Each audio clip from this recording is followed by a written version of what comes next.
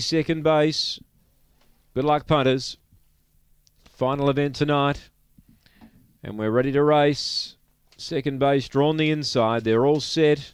Ready. Racing. Oh, second base missed it. Stayed sort of in the boxes there.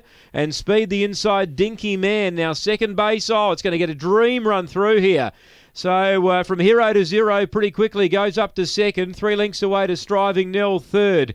Uh, they still haven't got Dinky Man by the way. Fourth placing Shay's Magic, then Chatty Wacker. Well back meet halfway and Hubbity Bubbity. Leader still Dinky Man you left the rail. Now the run for second base. Wide out Shay's Magic descending. Shay's Magic over the top wins. Photo the miners and I'm not sure. Chatty Wacker was there.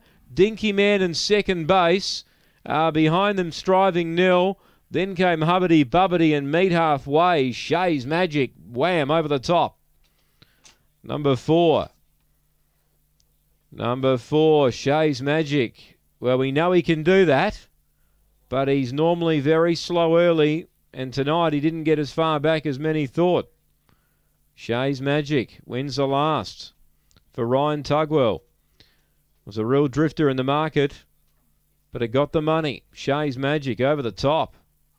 Number four, two Dinky Man gets second, one second base third, and five Chatty Wacker White out gets fourth. Well, Dinky Man left the rail. The run presented for second base, but it had to do too much work early. The dollar fifty favourite.